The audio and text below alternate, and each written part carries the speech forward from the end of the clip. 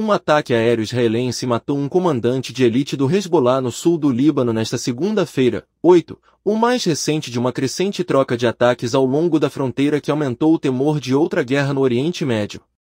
O ataque a um SUV matou um comandante de uma força secreta do Hezbollah que opera ao longo da fronteira, de acordo com um oficial de segurança libanês.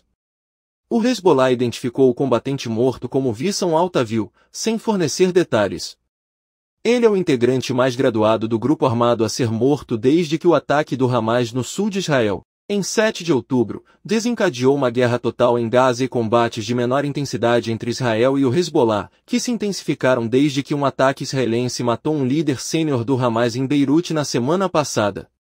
Veja a seguir imagens do funeral do comandante do Hezbollah que morreu ontem em um ataque israelense.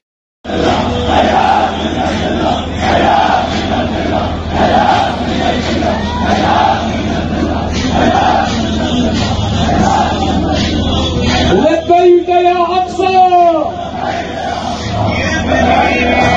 Yeah,